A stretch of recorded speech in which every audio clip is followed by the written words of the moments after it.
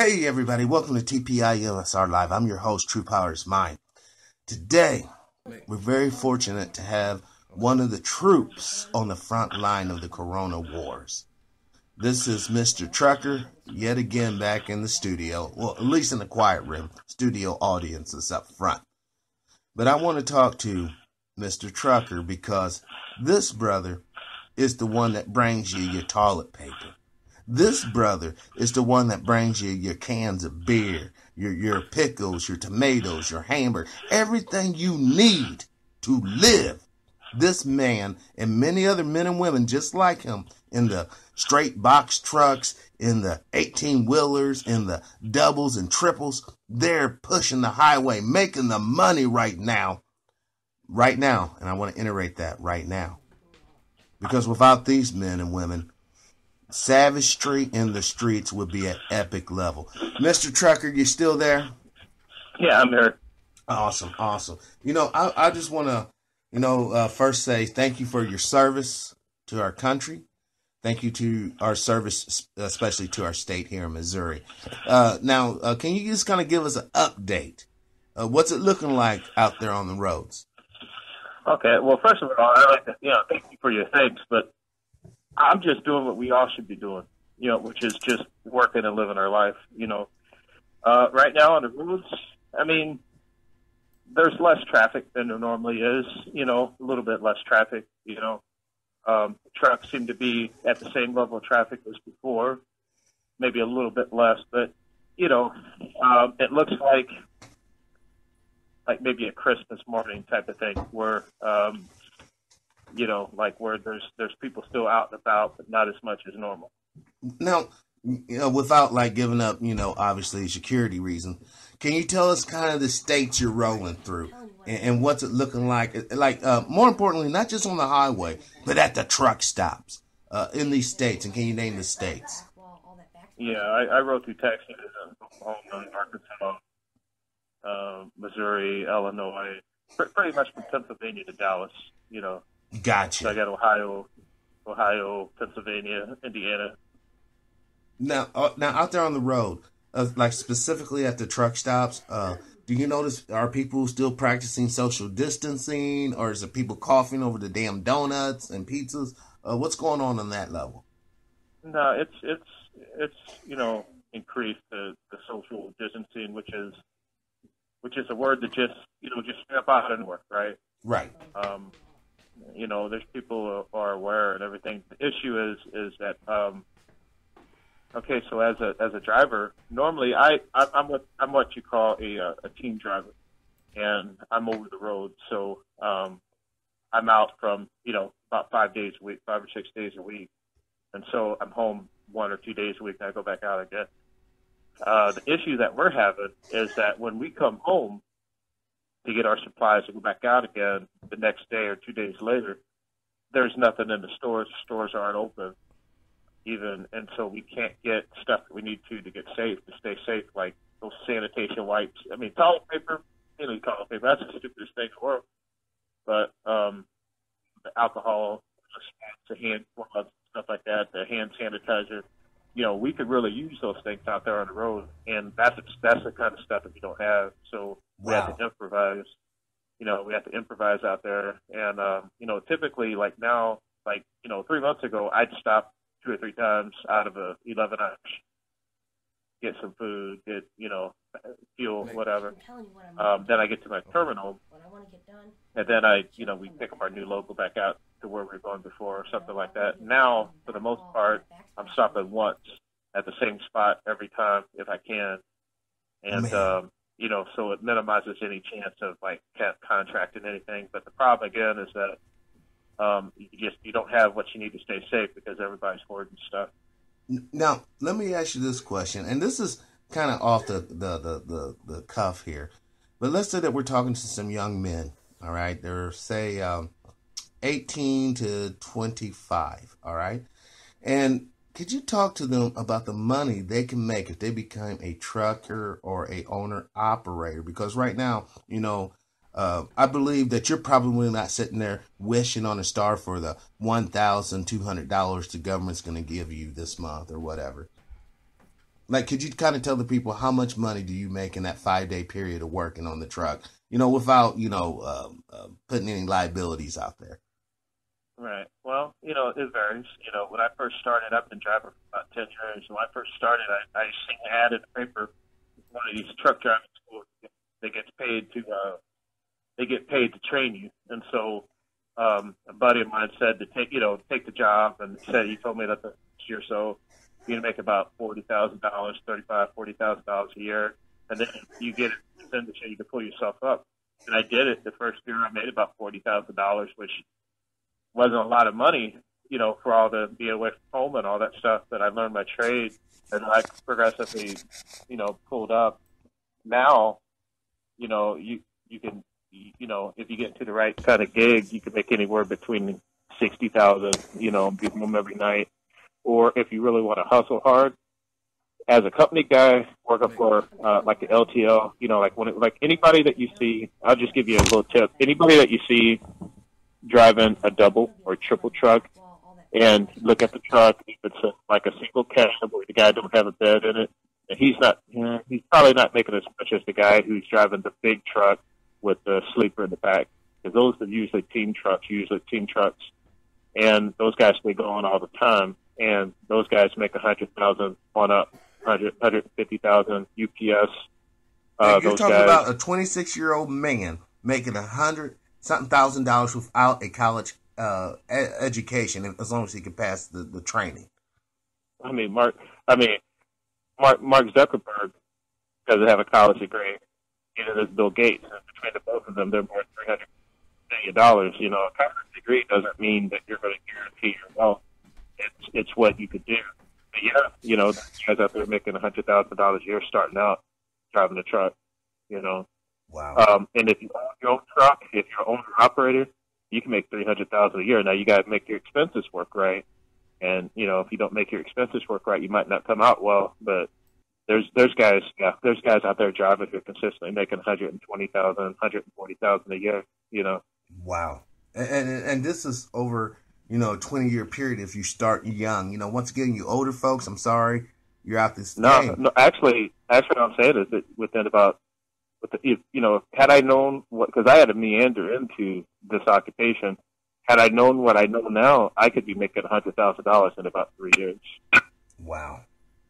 Of driving, you know, but you you make you make this move, you make that move. I've also worked at trucking jobs before where I worked 60, 70 hours a week for fifty thousand dollars a year you know, I didn't know any better.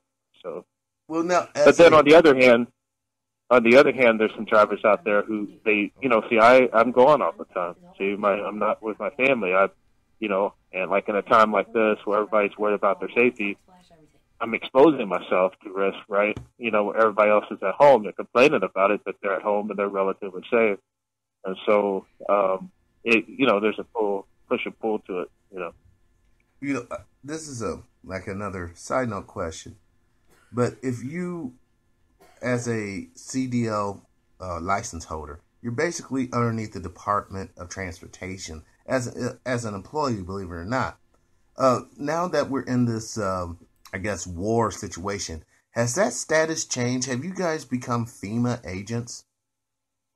Well, I'm not sure because I don't sit in the boardroom, but I know that we have to adhere to the Department of Transportation and FEMA, if they have, they they do. I mean, I guess they could take over at times of like severe crisis at the at the president's uh, direction, and they'll direct things. I'm not sure what's happening right now because all I'm basically doing is just driving, and that's it. Well, you know, I mean, and uh, once again, we're talking about financials, so this is somewhat important. But are you aware that right now that BlackRock is prepared to start participating in the money making aspect of our economy. Yeah, they've been they've been participating in it.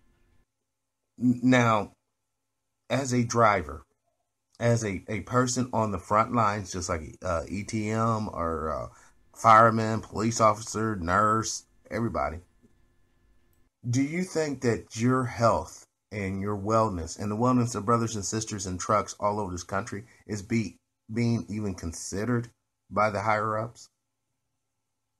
You think you think whether or you said I think whether other people are considered our health. Yeah, I do. You think they you know, do? but at the same time, at the same time, honestly, sometimes you gotta do what you gotta do. Well, let me ask you, You this: if, if money was not an issue and supply was not an issue, what type of PPE would you like to have on the truck? What do you mean PPE? Uh, personal protective equipment, uh, mask. Oh, um, what what would you like to have on the truck that the company provides, not the trucker? You know, when you go out there, well, go out there to, um, you know, uh, uh, bin number twelve, pick up this truck. Uh, all the PPE's already in there. If if money was Right. not issue, what type of PPE would you like to see in every truck? Well, well, see, the problem right now it isn't so much the truck, you know, whose responsibility it is. It's a matter of, of just logistics. You know, when when I go home every weekend, I I can't go to now, especially you, you can't just go to Walmart and get what you need safe wise. You know, for for hygiene. I mean, for for safety, like the sanitizer and stuff like that. It's not available, and so you know, where you would say, well, it's, it's the driver's responsibility to have these things, to have these things, you know, on on hand, and it is. We we have we've had them. My partner and I, we usually have sanitation wipes. We normally have Lysol and all that kind of stuff, just on general, just to keep the truck clean. But we've had them for the last month, up until the last month, but we can't get them replaced because there's people out there who's got ten year supply of toilet paper in their basement Mm. you know, and consumers, and they they hoard everything. And if it comes out, you know, they're at home and they'll go to the store every day and they get this stuff. And then when I come home once or twice a week, there's nothing available. So the truck company is not is not responsible for that, but in reality, we can't get it. So what's going to happen ultimately, I'm afraid, is that people, other drivers, you know, they're going to end up contracting this probably at a very high rate because you you know we're just we, we are in front line. We just don't have the ability to stay as safe as possible. We try to do the best we can, but you know the reality will set in at some point. Uh, now, on the other hand, you know, let's say if this thing stretches into July or August, um, by June or August, by July, you know, everybody's going to step up to the plate, and everybody's going to have, you know, they're going to have what they need, and things are going to come out. You know, every every problem like this is going to be solved, but June is too much from now. I mean, You know, but why would we been going on wait till. June to solve the problem? You why, why would we have to wait so long? I mean, because for one reason why I say the, the, the actual hub or the company should be providing the PPE for one reason. Typically, they are have access to the warehouse that holds the PPE before it gets distributed. So if they can get first Right. dibs for the truckers, that would be golden. Well, you're asking why, you know, why aren't these problems solved? Well, you know, that's the nature of problems. You know, is that, you know, in a situation like this, everything is a problem. You know, there's problems that have come up that we never thought were going to be a problem. They're now big problems, and it just takes a while to get these, you know, seemingly simple problem solved. It's just that's just the way of life. And that's what we really have to buck up to the fucking bat. I mean, right now the country's at bat. We got a lot of people running around here saying, "Oh, this is from God. This is beautiful." It's horrible. It's horrible when something's out there killing citizens and, and, and people, just human beings in general, indiscriminately. And that's what's going well, you on. know, you know what's killed more people in history? Uh, two things. Nope. Water and air. You know, life is about death, and I mean, you know, the thing is, this this thing here is a plague, but it's not new. It's not it's not unique, and this ain't gonna be the last time this happens. Is a pandemic, and so it's just maybe it is God's way of telling us that um, we're not so big, we're not so technologically advanced. Something like this ain't gonna happen. You know, this is a reminder. You know, and this is terrible, a terrible thing you know, but it's not the end of the world. This is not going to wipe us out. Well, we, what I think we got to watch out for is the power grab. You know, we got to watch for this manipulation that's happened, all this hysteria that's happening, people losing their freaking mind over toilet paper. Come on. Toilet paper is the last thing that you want to buy. You know, at this point, toilet paper, But You know, let me I mean, let me not- explain it to you. Hmm. The average American does not know how to wipe their ass without toilet paper, so that's why that's such an issue. And then a lot of the Right. women out there who are poor, they didn't stock up on pads or tampons. They're getting wads of toilet paper and shoving it up their hoo-has just to well, you know not make a bloody mess. You know, I would say they should Google or maybe watch a YouTube video how to wipe your ass because hoarding toilet paper is stupid and it's panic driven. You know, you know what? It's interesting. So let, let me. How did how did this toilet paper hysteria start? Do you know? I, am assuming like the Popeyes chicken. It was marketing. It was it was marketing, right? You know when that happened? Approximately when it happened? Oh no, I wasn't really following this too deeply. Okay. All right. So if you look and you start doing, and you, you better start doing your research quickly because these these little threads are start disappearing. Curiously enough, um, so this panic happened. This this this this pandemic or whatever has, as far as we know, it's been going on since like late December in China, right? Although there's some people said that they were sick in America before that time, but what we know is that the uh, the Chinese you know pandemic started in, in, in December and it became like okay. became it, it started hitting the public's eye uh, in early January, right? And we didn't really pay attention to it because there was impeachment and stuff like that. Right. So by February, we started seeing it spread into Europe, and we're like, oh boy, Europe has a problem. We didn't realize it was here. Probably was already here, you know. Well, you know, it wasn't really a big deal. Still worried about impeachment and trying to get rid of Trump and all that stuff. In early March, still wasn't talking about toilet paper, right? Right. The first post that I found was a post of mine. A friend posted something on uh, March 10th, right? Basically, right. in the post, just simple post. Now, nobody was frantic at this point. Nobody was upset. And it said, um, in Australia, people are starting to hoard toilet paper. And this is just as, as a post, just simple post. And it says it, it's getting so bad in Australia, the toilet paper shortage, that Chinese newspapers that own most of the not Chinese, you know, uh, Chinese, the Chinese that own most of the newspapers in Australia, they were printing extra copies of blank paper in the newspaper so people could wipe their butt with because what? there's no toilet paper around. Now, it's just a simple post, almost a funny post, right? Now that was actually it was uh, March 5th, I believe. Now that was in the middle of the week, right? On yeah. March on March 10th, I started seeing my first hysterical post from people who were basically saying people in America were saying, you know, oh my God, there's no toilet paper, right? Right. And then all of a sudden, more people started popping up and more people. And what I think happened is there's there's three groups of people in, in America. There's or maybe four. There's the preppers. First of all, the people who actually already got the stuff hammered and they already knew the stuff was coming and they didn't have to run out to get guns and get toilet paper. They already got their stock. Right. They're waiting for it. When it comes, they're like, honey, this is it. Let's get to the bunker and prepare to defend. That's number one. Number two are the people who don't do a thing, but they read. And then they see something, somebody, somebody heckles and somebody posts out there, toilet paper is a shortage. And then they react. They super react. And then they run to the store for no reason and they buy up five carts of freaking toilet paper. Mm. You know what I mean? And then they run out the store with it. Okay, and then there's a third group of people who are like, man, toilet paper, certainly there's more toilet paper. They go to the store, and they see three or four rolls of toilet paper there, and that's it. And they, oh my God, it is true. they, and they and they take whatever's left, even though they don't, they don't even need toilet paper. And then they got the final group, the people like you and me who are kind of like, come on, guys, surely there's toilet paper. You guys are overreacting. You go to the store and you see no toilet paper whatsoever. Yeah. Suddenly, toilet paper's at the top of your list. It's not in my that's just a matter of being manipulated. And that's what's happening. Now, toilet paper's stupid. I think if anybody's really, you know, like the invisible hand, they're watching and they're ju- they're using toilet paper as a judge. As long as the, and they can see, you can judge, you can see if the toilet paper is in stock or not. You can you can probably see that in real time. You can see by the demand. Right. And as long as that toilet paper demand is up, and as long as the supply is down, then you know that the panic level is up. Now, when that starts to dwindle, they have to ramp it back up again. They got to put something in the news, you know. Now, what is this all about? I don't know. But let me ask you another question. What was the big story right before right before this thing became a big historical event? What was the big thing in the news? You remember in the in American yeah, news? it was the impeachment. Nope. It was Super Tuesday.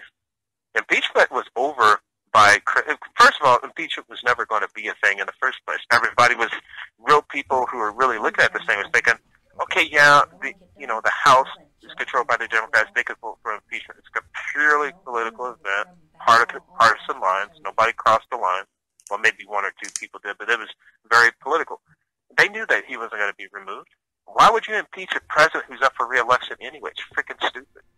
Why would you impeach a person who's already on his way out? Or you know, if, well, if you don't like make them, money. People make money. All the people who were putting all the little reports together were getting paid good money. It was a distraction, is what it was. Yes. The big story was right before, a week before this thing became hysterical, this coronavirus thing.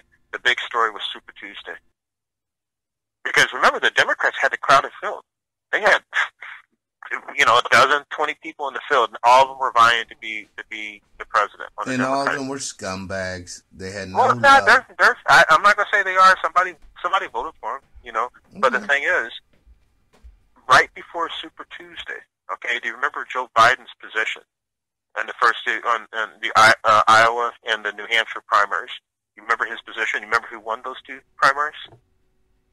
Mm. Buttigieg won Iowa in a contested race. It really was Bernie Sanders' race. And then Bernie Sanders won uh, New Hampshire. Bernie Sanders was taking a victory lap up until up until Super Tuesday. And you had Elizabeth Warren, she was in there, Klobuchar was in there, Buttigieg was in there, and they were all trying to be. And Biden was in there.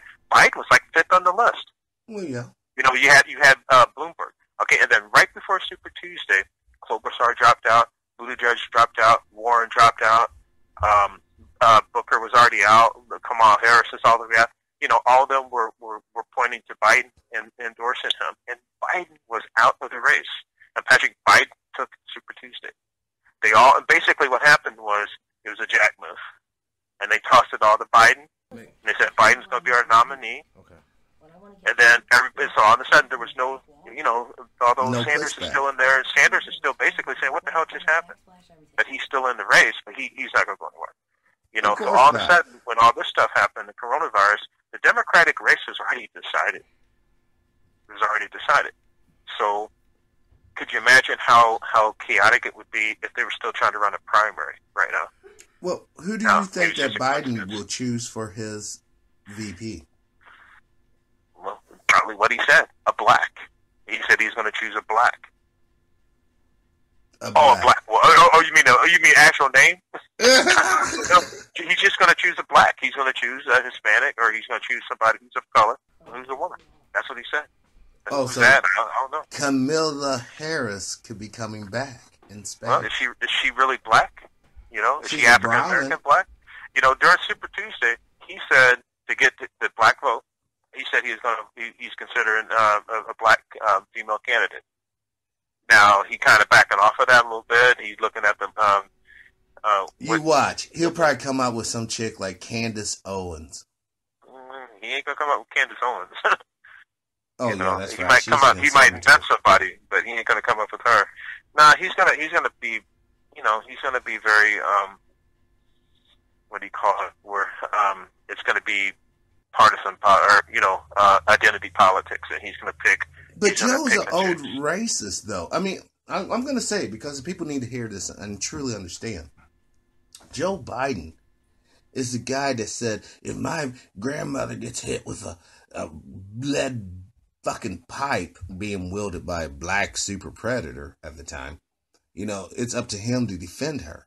And that's why he signed the bill that put so many men and women of color behind bars back in the 90s. Joe is not your Well, I, friend. I'll say something, really honestly. It wasn't, it wasn't him that put those people in jail. They, the guy hit the old lady with the pipe, they put themselves in jail. You know, but I mean, what he said, I don't, I don't remember his statement, but if he said it, maybe he said it wrong.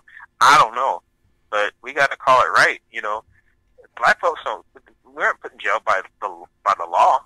I mean, not by a maliciously racist law. We're put in jail because we tend to be violent. Maybe Well, we should stop doing that. Know, had a guest on my show, Sister Dorothy Gaines, and she was incarcerated behind racial lines. And it took a great deal of effort by blacks and whites to get her out, more so black. The thing is, there is a racial component when we talk about these issues. Okay. All right. If it's racial, how come how come uh, the Chinese people aren't complaining? How come the Indians aren't complaining? Oh, because Why- they have their why is it always honorary they have their honorary white card. Now, a lot Oh, of okay. So it's not really racist. It's just against blacks. So it's not it's not really against racial thing. It's just everybody against black people, right? Everybody that, that is black. racial. That would be racial if everyone Okay. is targeting people just because of their. But they're not Race. targeting people. They're only targeting black people, Yeah, right? well, that's a people, so that would be racist. okay. well, Then maybe you shouldn't be black. Maybe you should be something else. Well, they do got skin creams that could fix that, but no, no, I'm not you- saying no, no. I'm not saying you. Why, why would you have to change your color? I mean, You have to nowadays, change your color if you, because you blackness change is your, only if you could skin deep. your, if you could change your gender just because you say you're another gender, why can't you just say I'm not black? it's problem solved. You know, Right? in a non-racist world, that would actually is- work. and the but answer because is, is we live in a racist world, it will not Well, work. okay. Well, as long as you get to be racist, then you get to have the amenities that come along with being that victim status. Because then you Exactly. get to then you get to be a victim, and then you get to do whatever you want to, and then you get to say, "Well, I can't be a racist because I'm a victim." No, no, no, no. I disagree with it. I, I what I think is that as a society, blacks tend to be more violent. Look at our culture. And if you want to change the result of it, change the culture. If you don't want to change the culture, live with the result of it. Now, can't how can the you can't have culture be really your culture when there is external forces driving Oh, what the quote unquote culture? Oh, I mean, look at Easy E. Uh, no, He was okay, behind so- Easy so E. let's look at It was a Jewish let's look at, old let's man. look at our music. Let's look at our music. Is our Exactly. music governed by some outside force? Yes, it's called the record Okay. label. It's called the man Oh, that can put you on the stage, the man that can Right, take you from city to city, So, and the it's record label, always a the record small label, the sombrero. record label, the record label gets gets to decide all that stuff. Okay, then you're giving them a lot of power. Then that means Yeah. that. that- You know so that if back if- in the if they got 90s, so the much, if they got so much power, if they got so much power, why why why cry why cry to that power for change? Then if they're so racist and they got so much power, then fuck it. Why cry about it? Because there's nothing you could do in a racist society that's got all the power to change anything anyway. You never. I mean, do you think that it's Kunta Kinte? You think oh, his cry? You think that would have done any good when it truly was racist? That's funny that you mentioned Kunta Kinte. We all know that that book was fake. It That, wasn't. that was actually. plagiarized. It- The it Roots was was, plagiarized. was the the dude that fiction. wrote that did not even get that. He pulled it from other sources. But the thing Wow. about it is, it all plays back to as long as you're harming or hurting black folks, you're going to get paid. Well, Whether you you know, what it comes down to, what it comes down to as a black person, or whatever you want to describe yourself as, if you want to be a foolish person and, and say that you have no power, then you will live with that tag. I choose not to. I choose to say that, well, I don't have all the power and prestige as a Bill Gates or even as a Donald Trump, that I, I am not a victim, and that I do have my own my own wealth and my own rights. There are things that I can do that I should be able to do. And But, like- but like right now should be showing you just how much rights you got. If you had a job that wasn't categorized as being important, you would be just like all the other slaves. Go No, into no, your shanty No, but and be hey, man, quiet. check this out. Check this out. Do you do you know that some people actually save money for days like this? Do you know that not everybody lives paycheck to paycheck? That is and true. so like so like when things like this actually happen, you're not running out of desperation. You might be running out of safety. You know, there's things that happen that are of a magnitude where, like, heaven forbid, a natural disaster, heaven forbid, a, one of these gigantic earthquakes that just just destroys, or earth hurricane or something like that. Well, that's a different kind of story. Flooding, you know. Right. But this right here, this is a disruption that will bring upon a, a cataclysmic economic downturn, which will affect you. But it hasn't affected us yet. But, you know, being out of work is because of two things. Number one, it's a political thing going on. And then number two, you got to look at this thing for its real, you know, for its reality and say that there's something very, very fishy about this whole thing. First of all, number one, the media, the media is disingenuous. They, they've been caught in lies. We know that they're not news. We know that they're propagandized. They got a prop, they got a agendized propaganda campaign going on. They want to, they want to, they want to um, disavow Trump to hurt him politically. This is the media, the in general, the mainstream media. Take your pop, top 100, probably 95 of them are slanted against him. Why? It's curious. Why? Well, our guys are racist. Okay, well, you want to call everything racist? Everything is racist? Okay. Listen to you talk about Ice Cube, you talk about NWA. Listen to listen to some of their NWA. Is that racist?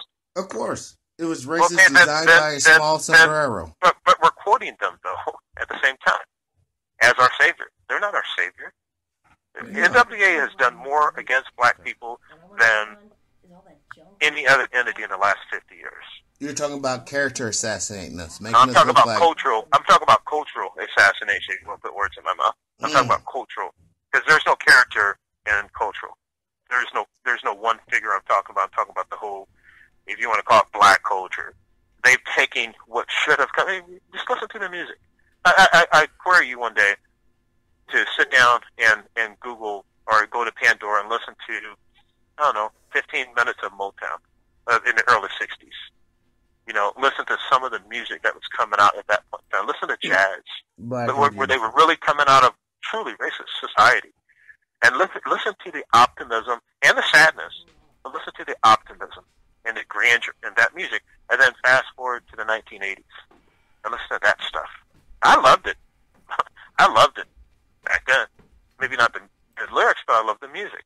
Where they they hypnotized oh, us, and they they convinced us to basically to give up our common sense for their sense. No, for foolishness. For well, for their sense, and they were they were truly selling us out. You know, listen to Cube talk about. I never had dinner with the president. I never had dinner with the president. That fool had dinner with the president, or live a way out. That dude lives way out. You know, watch that movie Eight Mile, right? That Eight Mile, when you know with Eminem, right? You know the so-called white Negro, right? So when when that final scene when he beat Clarence, who did think who who do you think he was talking about? Clarence. You know, talking with Eminem in Eight Mile when he's talking about well, um, your your your mom and dad have you know you have real good parents. Basically, he's talking about Ice Cube. mm. You know, Ice Cube was that guy, Clarence. But you look at him, and he and I'm not just blaming on Ice Cube. Ice Cube's my boy. Lyrically, I mean, he's you know, he's all that. But I'm saying we can't be stupid about this thing. You got to be smart. Take in all the information you can't make up your own mind. But there's something going on right here. This virus, this old thing, there's people dying. Oh, this be, more people die of abortion than of uh, abortion. Uh, please, you know. we I mean, talk about that on this show. Uh, this goes back to the whole culture of death which you find yourself immersed in. You forsake the young, then you forsake the old, and then you just pick through the the um, middle aged adults to see who's really capable of work and who's useless eaters. Well, well this, this, is, is my contention. My, this is my contention. I love this from my mother. I don't subscribe to the they mentality. Well, they do that. They do they. I I I subscribe to the me and we. You know, I re, I refuse to allow the so-called they run the world. Now, I can vote for somebody. I can let them represent me. This is our society. But I'm not going to bow down to they. You know, like right now, well, you got to sit in your house. Okay, now I understand the health issue. But there's something going on right now. There's something that has not been really been told. There's something fishy about this thing. A month ago, almost to the day, we're talking about our our first one or two or three cases in the, in, in the United States. Our first one or two cases up there in Washington when that when that nursing home had 12 or 13 people die or they got sick on the set, right? Mm-hmm. Within a month's time, we got a half a million, a quarter of a million people infected. How the? fuck? Are you serious? How does that happen?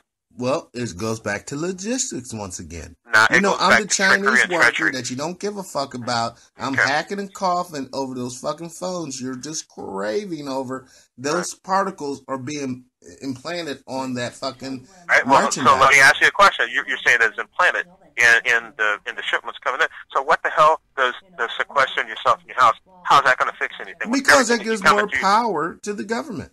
Okay, so why so why so why acquiesce to that? Why, why submit yourself to that? Uh, because you don't want to end up on. Listen, well, but, we're back to either you're with us or you're against us. No, we're back. We're back to we're back to common sense. We're we're actually back to making your own mind up rather mm. than giving it up to somebody else who says, "Well, you're going to stay in your house for three months." The fuck I am. I'm not going to do that.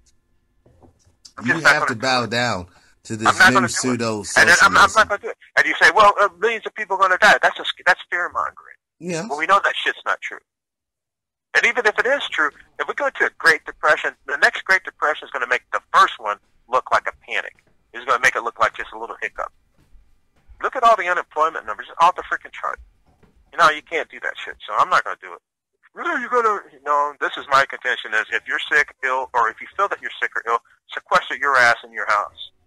And we will, we will, we'll create a whole new a whole new industry of people who are going to cater to you, deliver food to you, cut your grass, clean your gutters, do whatever the fuck we got to do to keep you safe and healthy. But I'm going back to work. But the problem is there's asymptomatic people who can transmit this thing. That who are they going to transmit it to if the people who are the most vulnerable are in their freaking house? Uh, They're sequestering healthy people, and you know there's there's there's asymptoms that aren't going to go away until they get a cure for this thing. So what? Are We're going to sit ourselves in our house for 18 months? Well, hell, you might as well give the keys to the country to somebody else then. And I'm not it gonna do already has been given to someone No, else. It's called no, the central no, no, banks. no, no, no. Back in It's already been given by some people. The process has started, no doubt about it. But that's it ain't done yet. Otherwise, this shit would have never happened. You know, somebody said something interesting to me. They said, um, "This never would have happened if Obama was president." I'm telling you what I'm And I thought about it for a second. I said, "You know what? You're probably right, but listen to that statement and analyze it seriously." You better analyze it for us because my audience is going to be, what the fuck? No. Analyze that for Okay, us. well, let, let me analyze it then. Okay, let's say that this stuff never would have happened if Obama was president. Why? Why would have never happened? This was a virus that, that was created either in a lab or by someone else's direction. So if it never would have happened, if it was created by somebody else, that meant that whoever created it would want Obama to have been the president or to have been in charge. This was created to create havoc on the and we talk about Russia, Russia, Russia in 2016. You mean that this shit ain't affecting our election? Uh, Now, but the thing is, it's going to backfire. Now, this is what I'm worried about. This shit is going to pass because this is a virus and it's a bad virus, but this is not the doomsday virus. And Right. Patrick, this is the fact too. We've gone through epidemics before we lost our freaking head. We we've forgotten the Bible. There's been plagues all throughout human history, and they will continue. They will continue to be. AIDS itself was a plague. It has not wiped us out. The epidemic in 1918, as bad as it was, it didn't wipe us out. It right. did not wipe us out, and it didn't destroy our economy. You know, it, the bubonic plague knocked out 90% of freaking London. Didn't destroy them. It didn't wipe them out. What it actually did was it made the people who lived stronger. And I don't want anybody to die needlessly. I have a family. I don't want them to die. Right. But every time, every time they get in a car and they leave the house, I wonder about them. Every time they get on the plane, every time they open up the, the stove and turn it on, I worry about shit. Death is all around us. You know. But what I'm afraid of is when the invisible hand realizes that this didn't sink. Let me think about the etymology. Think, think about the timeline. Trump declares candidacy in 2015. He's immediately brand- branded a racist. Okay. You're racist. You're racist. Uh, But it didn't condemn his candidacy. And then he gets elected. And then before he even takes office, they're talking about trying to nullify the electoral vote. Okay? And then he gets not, he gets he gets inaugurated, and then they start talking about impeachment immediately. All throughout, there's drumbeat against this dude, right? And then they do this Mueller investigation. Russia, Russia, Russia. Didn't find a damn thing. Mueller himself gets up to testify. We find out he's a bumbling idiot. It's mm. on testimony. It's on tape. As soon as that gets shut down, then you have this Ukrainian thing come up, and then you got an actual impeachment start. Try to get this man. That goes down in flames, and then it's right on its heels comes this shit. And this shit ain't expensive. This shit is not curious to somebody. Then you're a fool. It's a curious shit. I don't know what happened, but I, I'm not a fool. You know, I'm not a fool. There's this thing in reasoning called abductive reasoning, right? Like you got inductive reasoning, you got abductive, you got inductive reasoning, deductive reasoning. Abductive reasoning is another form of reasoning. And in abductive reasoning, you gather facts, basically. And you just gather facts. You don't even know there's a crime, you know, like where deductive reasoning and inductive reasoning is, is used to, to determine the, the crime and who, who was the, the suspect and everything. And abductive reasoning basically just collect facts, and then all of a sudden, at some point, it just hits you. Uh, you know, in police work, they call it a hunch. They call it, some people call it women's intuition. Some people call it ESP. But basically, what it is is you gather all these facts, independent of any investigation. You're just a layman, and then all of a sudden, it just freaking hits you. That's at least maybe not the actual truth, but it gives you you can infer another clue where you don't see one. And like right now, there's the obvious push for globalism. An obvious push for it. Oh, yeah. You look at what's happening in the EU. Look what's happened in, in Europe. You, uh, in, in England. Look what's happening in, in uh, Israel or in the Middle East and Saudi Arabia, in Canada. You got all these factions. You got look at what's happening at our southern border and our northern border. You know, all this push to break down our borders. You look at what's happening in the, in the UN, which is a criminal. You know, they're they're anti-American organization within America. You know, that is true. And all these things happening, and what's happening to our society and our economy in the last month is exactly what they somebody, you know, certainly is in favor of. You know, it doesn't benefit us to do this stuff.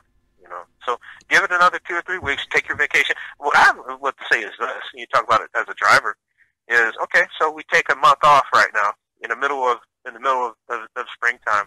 I think that we should just throw our middle finger up to these freaking invisible hand people and say this. Every year from this point on, we're going to take a week off in the springtime. Now, not spring break, maybe two weeks off. We're going to shut down everybody except for essential people and pay them double. Mm. We're going to shut down every freaking every two weeks in in late March. We're going to shut down just for the fuck of it, just to say we're going to shut everything down, just to say you you're not going to break us. And then, if for heaven forbid there's another true epidemic or a pandemic again, we're already shutting down for two weeks. We'll shut down two more weeks after that, then we're opening the fuck up and taking our chances. Now, what about people who are working in the fulfillment arena? They're the ones putting boxes and boxes to mail out to people. Do you think that they should have a right to strike right now for PPE? Sure. Yeah, they could strike. Yeah. Yeah, you can strike. Now, you know, if that was to happen, as a why trucker, would you? Why would you? Why would that be a good idea? you know, why would that be a stupid idea? You know, what's good and what's bad about it? No, I, I'm. You know, right at that moment that you that you're the most needed, you're that'd be like as a police officer, right? You know, I'm gonna choose that moment during 911 to say, you know what, we got this contract on the table, guys. I don't think we're going to go to this emergency call until we get this thing hammered out. And then when we get it hammered out, we're going to have a celebration. Mm. And fire those people and keep on stepping. You know, somebody wants to work. So, do you, you think know? that the republic ideal of the the nation is in jeopardy right now? What's that? The republic ideal that every citizen is entitled to privileges and rights. Oh no, that's Republic. I thought Republic idea would be that we have a delegatory uh, process where we elect people who are going to represent us. I mean, but we yeah, also have a a textual laws determining that those people that we elect cannot infringe on privileges that all citizens should enjoy under the Constitution of the Republic. Like, in other words, it's okay for you to go down to your hub and meet other truckers and then roll out. But it's not okay for people to go into the house of the Lord and worship right now, unless they're six feet apart. Well, there's there's actually um, there's a campaign on board to help out these churches. You know, somebody said again, you know, um, a friend of mine, you know, talking about Easter, saying this is the first time in history we, we're not going to celebrate Easter. I beg to differ. We're going to celebrate Easter. Maybe we can't do it face to face because of the health issues or whatever.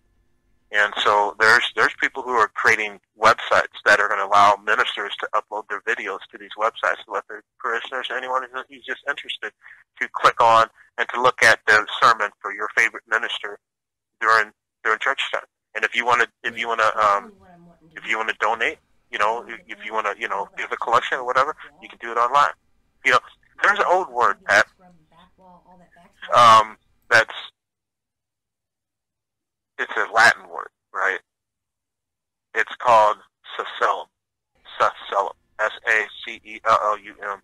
Sacellum. And what it means is a church without a roof.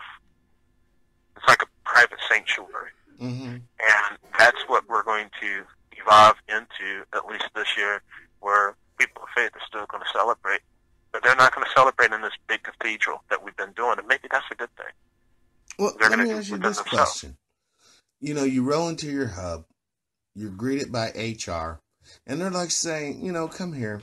We need to talk to you for a second. You got to sign these papers, boom, boom, boom. And then we have to inject this microchip that'll give you real time health analysis over your body.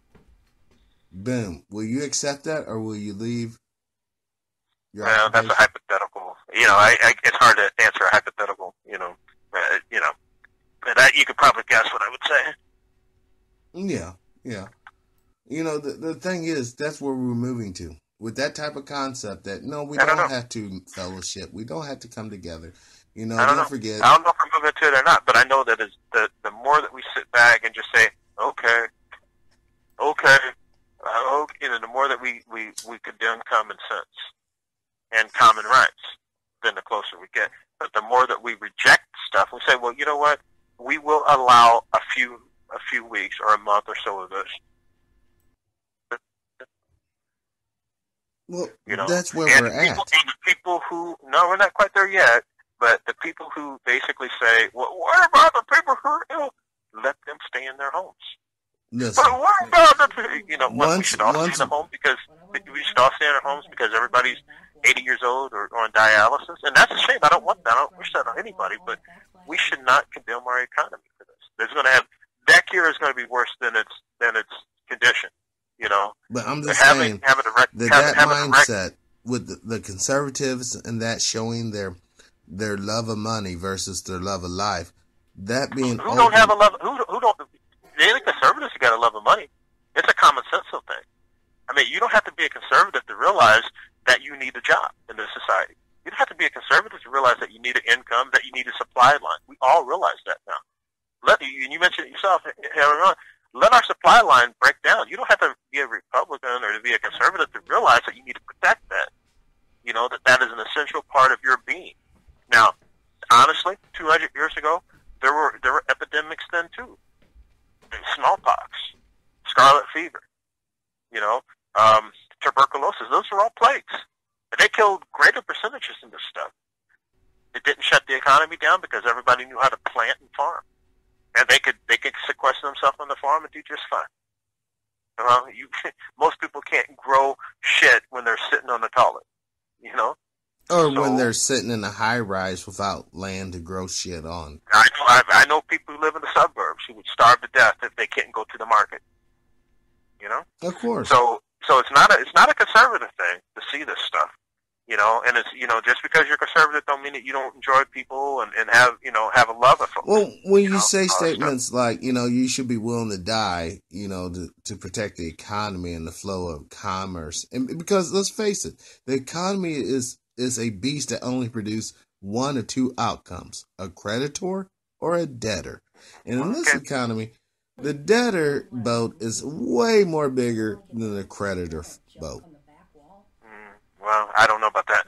But the thing about it is, when you say you're willing to die, okay, taking it out of context, the people who are working right now to keep the supply chain going, those and the people who are working in the hospitals, the people who work working in law enforcement, even the people who are delivering your food, you know what I mean? Those people are essential, and they're putting themselves at risk, right? They're putting themselves at risk. Now, remove them, and you you can count your days. You can count your days on one hand of how long it will be before you have chaos in the streets. And, And you what say, will it be well, chaos? Because these people are going to try to, to scavenge shit, and there, there's nothing to be scavenged. That's the beauty of this oh, thing. oh, oh, oh, I beg to differ. Nothing to be scavenged, maybe not in the stores, but you have food in your house, right? Look Uh, outside of the box. You're going to have to get through the armed male at that house to get to that food. Then So- you know what? That's that's where the chaos is going to happen. You, see, you don't realize that there's. You look at some countries.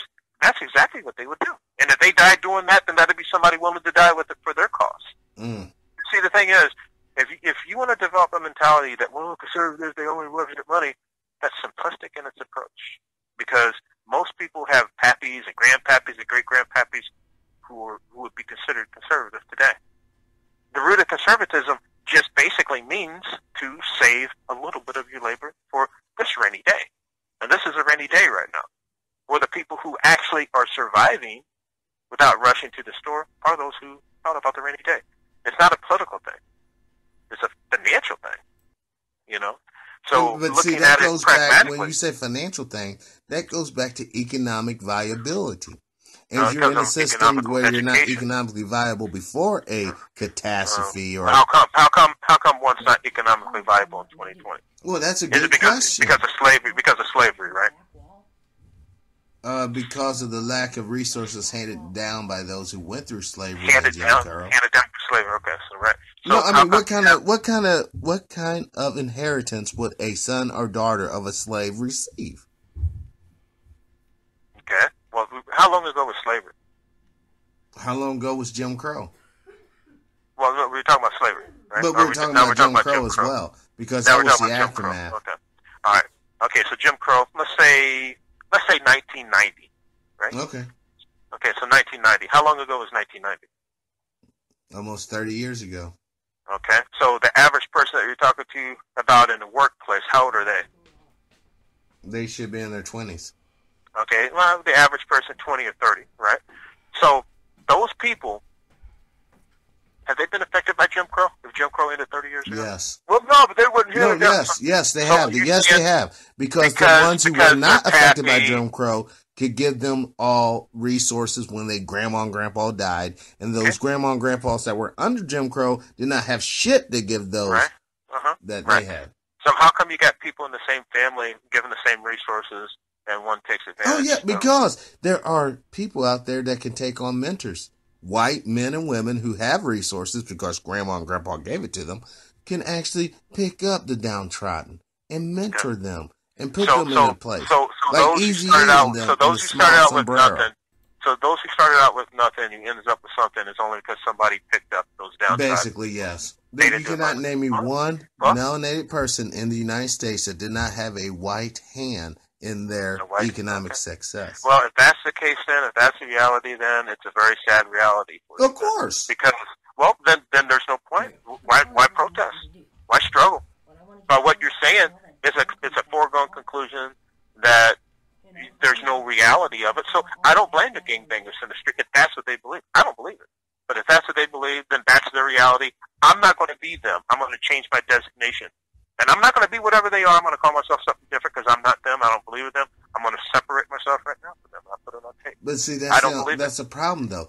With No, this, it's not, a problem. it's not, as, it's not a problem for me. It's not a problem. it, you it's can't not a determine problem. whether it's not you're going to participate it's or not not. a problem. You have to me. participate. It's not a problem for me because I'm not a victim, and I'm not going to. I'm not going to condemn myself or my family to victimhood just to placate a reality that says 150 years ago my parents, our parents, maybe, maybe not.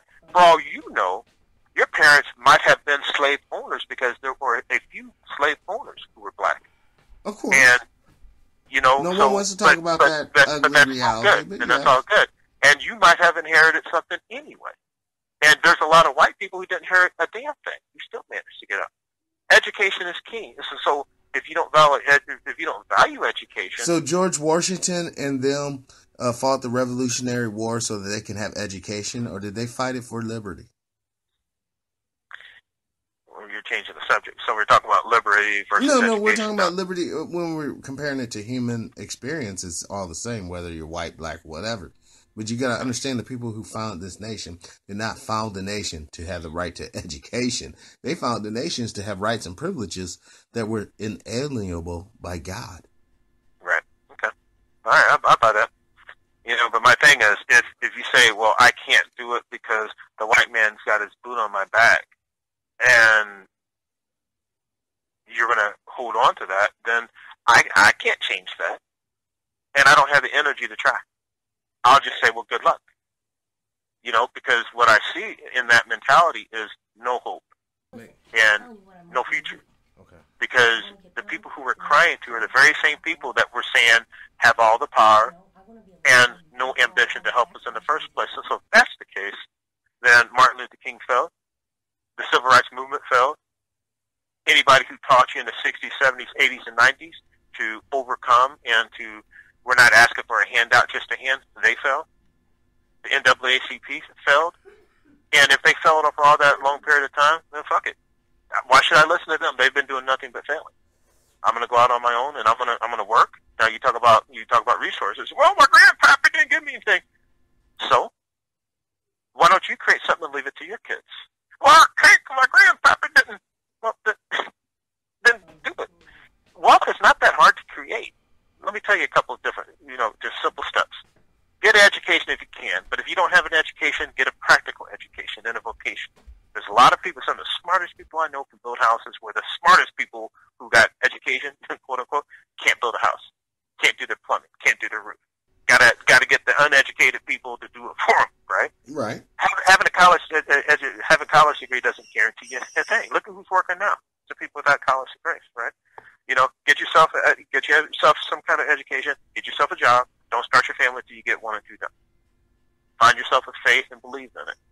Live yourself somewhat in a moral lifestyle. It doesn't mean you can't act like a fool sometimes and have fun. It doesn't mean you can't kick somebody's ass if they encroach upon your property. But don't overdo it. Make some money. Save less than you make. It's not impossible. Save a little bit every week. Put it aside, set it aside. Put it in a fund and don't touch it, even to go on vacation, even if electricity bills do. And then do that every week, every month, or every year. And then that money that you're setting aside is going to grow, grow, grow, grow, grow. Insure yourself. Okay. So if you die, if you get hurt, if if you have to go to the hospital, that your insurance will kick in, and so this money that you're setting aside won't. When you die, give it to your kids. Make sure they understand how to use it. And then you got everything that you claim that the white man has. Don't do that, then you're passing on a bad seed. But it's not impossible to do it. There's black folks who do it every day, and they there's people who don't. You don't have to be a doctor or a lawyer to be worth whatever, and you don't have to be worth twenty million dollars to have wealth. You know, but you have to work. You got to make a little bit of money. You got to stay employed, or you have to find some kind of income, whether it's artistic expression. I know people who can who can you know you know, like what you're doing. You know, you're doing radio shows, and you know, you're you're doing whatever. Bring, but that's an income. That's a job. You know, Correct. that's whatever you're doing. You know, uh, do that consistently. Do it consistently. Can't do it for a day. Can't do it for a week. Can't do it for a month. You got to do it consistently. It's got to be your lifestyle. You know, and people tell me all the time, "Oh, he's always working." Not always working, but I'm working as much as I need to. You got to you know, keep those wheels a rolling to keep that dough a growing. Yeah, but you know, but the thing is, is that I have a plan. You know, I'm working, money goes aside, I still got things that I want, money goes aside. At a certain point in time, that money will be able to take care of myself. To me, that's wealth. Because when your money can buy the same things that the guy who's working pays for, and it, it don't mean I'm taking advantage of that guy who didn't do it. It just means if you, so. In other words, I look at I look at myself. Okay, so so like my my you know make a hundred fifty thousand dollars a year driving a truck.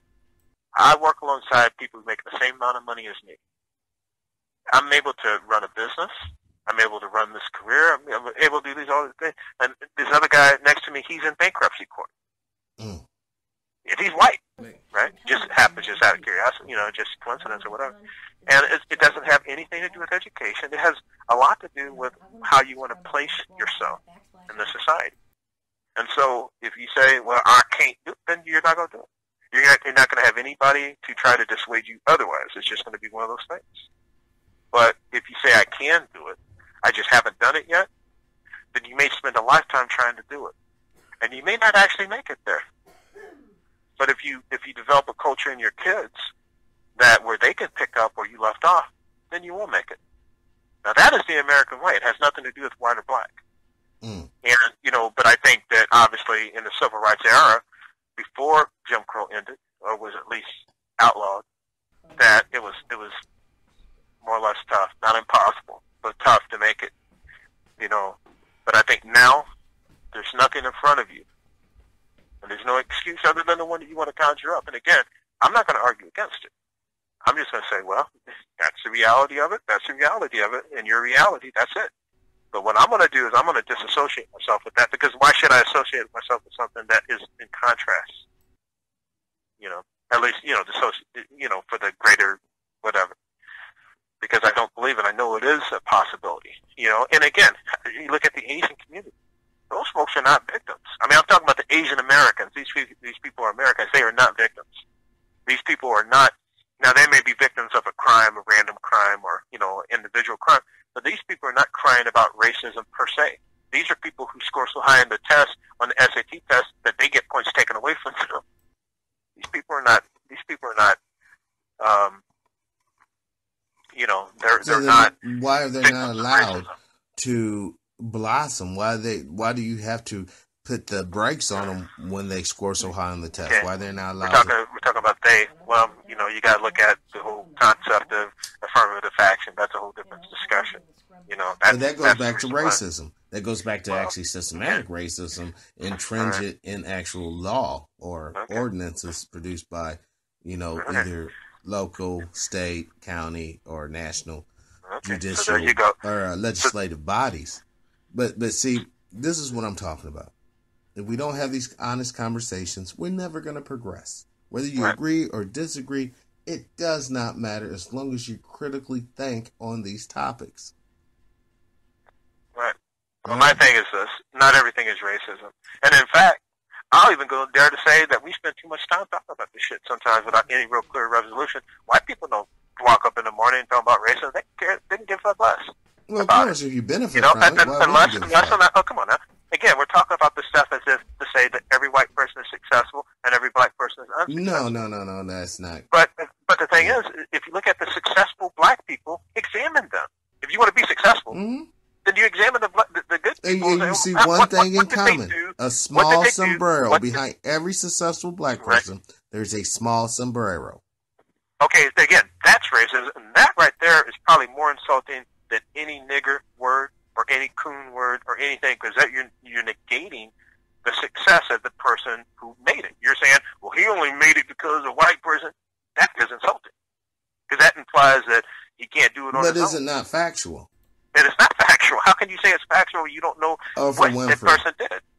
I mean, you can say, well, a person in America Dre, made it because Big a Nine. person. Jay Z. I mean, this, the list just goes on and on. Any, any of them, Okay. any of them that have well, made it then- to that apex of what we consider Right. successful, there is a small sombrero Right. pulling the purse, pulling the, the money Okay. string. Well, I, I'm sad that you think that. That's too bad. If that's the way you feel, that's the way it is. I don't agree with that. You know, I And- think and that right you know because it's, it's that's come on now because again you're you're saying there's racism, but somehow or another there's a racist society that's letting some people through and some people not. Absolutely. That's a, I could have said it so- better so if that's, myself. if that's the case, if that's the case, why let any through? Because you have to give the illusion of hope. The fuck? You Why? Why would you? If yourself. it's a racist society, why? Why not? And so, so if that's the case, then why even let a few in? To give the illusion of hope. So then why? give why the give an illusion. As Why give an illusion? ball, why, why give? Why, if they're racist, if they're racist, if they're truly racist, why give the illusion? Why worry about it? Because these You know? people are masters at their crafts. These It's people, not with brute alright? force. Listen, the the Caesar of Rome wasn't the strongest man in the fucking universe. He wasn't. The the the slavers who who packed the Colosseums full of gladiators that in essence were the stronger, they were there because they lacked knowledge. They were there no, because actually, they lacked plan. gladiators weren't necessarily the strongest. They were slaves. You know, they lost to the to the in many cases to the Roman soldiers. You know, and they but they survived slavery. the battle. They survived the loss, and in that there is strength. Like the slaves Maybe. that survived the if, Mid if two, Passage. if two if two weak strength. people fight each other and one lives and one survives, that person who survives isn't necessarily the strongest. He's just stronger than the person that he killed. You know, but I see what you're saying. But you know, okay, so so it, no black person is successful without a white person letting them be successful. Okay, all right. So you know, it'd be a terrible I thing mean, to tell your kids. The last that, time I you know? checked, there's not that many black in- financial institutions that can even give out business loans. So even when we talk about small black owner businesses, which on the average only has between one to Okay. one employee, Let me ask you a question. Uh, Let me ask you a question. Do you think that they discriminate you on your on your on your um on your application? Have you filled out an application recently where it asks you what your race is? And if not, because they don't ask that question on your application. If not, how the fuck do they know what race you are anyway? are you not dealing with a loan officer? No, not online. Oh, You oh, you're talking you- about you the have to- computer. Oh, okay. Well, because Oh, the computer already knows what you are. Okay, so, As soon so as you let's put say in your a social security number, Okay, so which you have to put in your say social security number, say it's already person. tied to your race. Let's say that you're in person then. Okay, let's say that you're in person. You, you, go out to Well, your- you think that that guy, you. that you think that, that loan officer writes on there, that's a nigger. Of course. He might Oh, not no, write nigger because he doesn't believe in the N word.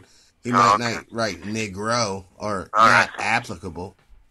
All right, so it's that's the case, and every every black person is going to be rejected. Well, no, a few of them going to get it. Okay, all right, just because they're black, because they're they're they're we not all black people, but And you know you got to that's a beautiful way of putting it. A lot of them will get it just because they're black, but they're the lo- the most irresponsible ones that will get it. Thus, tying into the impression that even if you give them money, they can't manage it. Right. Okay. Do you, you realize that the most successful businesses actually don't really need funding. At least do you know who the richest black man is in America right now? Uh, yeah, I do. I have a pretty good idea.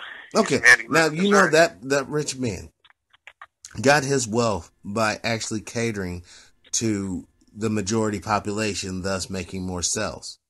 Okay. Well, the majority population's white.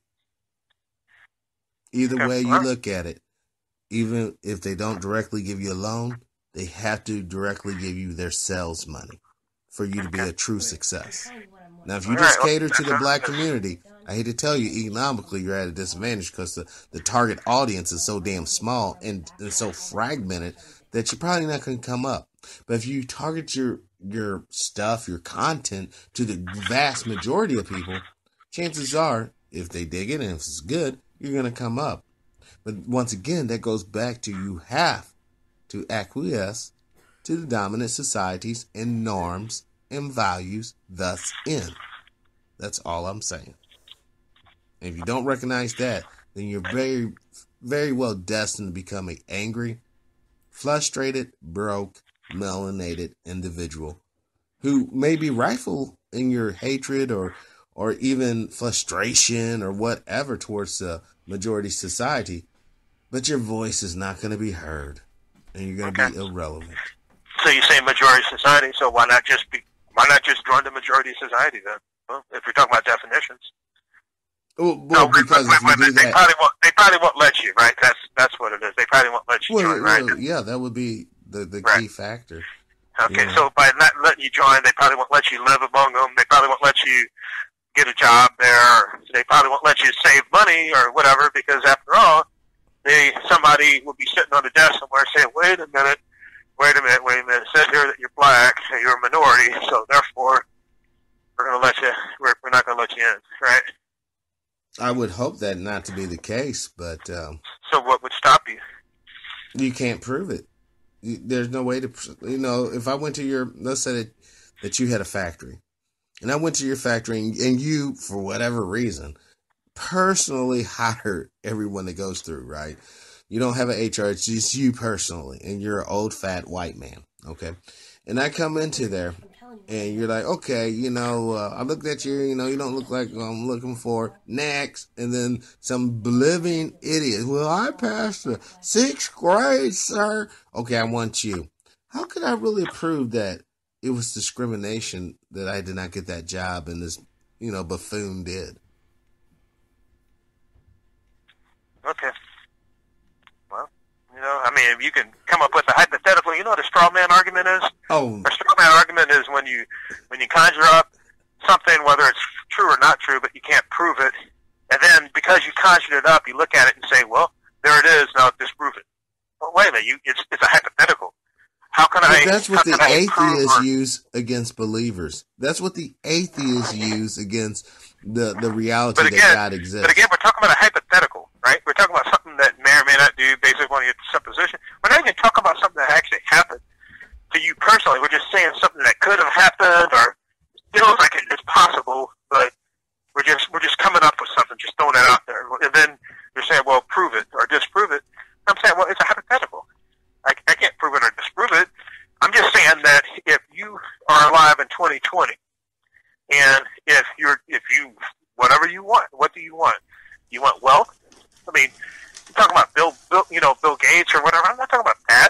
I'm talking about do you do you want to, you know, do you want to be reasonably successful financially? Do you want do you want a retirement, which is what we should aspire for, right? You know, do you want to be because you're gonna oh you're gonna get old, you're gonna die, and then you're gonna die. You know, you're gonna get old and then you're gonna die. But you know what we should be aspiring, aspiring for is the reality of being able to feed yourself, being able to pay for yourself, been able not to have to rely on somebody to send you something in the mail every month, you know, and um, what you're, you know, basically short, what the you're saying, we all should be aspiring to be economically viable. Meaning, to, I mean, you call it what you want to, right? Correct. But I'm just saying, if that's the thing, and you say, well, I can't do that because they won't let me in the club. You know what I'm saying? First of all, I disagree with that because there's too many people doing that right now. You know, there's too many people who have done it. So you're saying that the, the vast majority of black people are actually in the club, and they I don't know don't the know. vast. I don't know the vast majority. I don't know what the vast majority is. I'm just saying that there are people who are doing it, who've done it, and who seem to be able to do it. And you look at them and you say, well, okay, the people that I know who have done it, who are doing it, what are they doing? Or what are they not doing? Mm. You know, what are the characteristics of the people who, who make it, and what are the characteristics of the people who definitely are not making it? And how can you draw your parallels between the, the two groups enough to make your your your your assessment? You know, no, you don't have to have a doctorate degree. You don't have to be an attorney. It's good if you are. You probably will make it then. You know, but you know, you you know, just the normal stuff. You know, you don't don't you know don't crack out. Don't you know? Don't uh, don't have a what do you call it? The um, like a criminal mentality, right? right. I, am not saying you're going to go to jail, but I'm saying you're probably more likely to go to jail. I don't. When a cop gets behind me, I don't worry. I'm not worried. You know, and I, I maybe I'm speeding. Maybe I might get a ticket. Maybe I didn't stop for the stop sign, whatever. I'm not. I'm not worried about getting pulled out. You know. Um, no, no, that's good. My, my kids aren't worried about that. You no, know, I'm not worried to. about getting you know uh, broken into no no differently than anybody else. you know, we're actually out of time. Uh, we're over at. We normally do like an hour. I try to do oh, like okay. about an hour. So we're at an hour eleven minutes. Yeah. At this time, I want to say thank you. You know, for giving us our time. You know, because that's all we basically have on the surface time. And um, you know, just a few moments uh, anything in closing you want would like to share with the audience before we close out? Just don't give up. You know, just keep on moving, and you know, just stay positive during this um, lockdown. And, you know, be prepared to come out swinging. There it is. Well, thank you, Mr. Trucker. Uh, this yep. will conclude TPIM SR Live for today. I ask you live your life of integrity, without hate, envy, and greed. And as always, brothers and sisters, please, please, please, let's try to be kinder to each other. Peace in our power, unity in our victory, and dignity in our respect. Liberation. I'm out.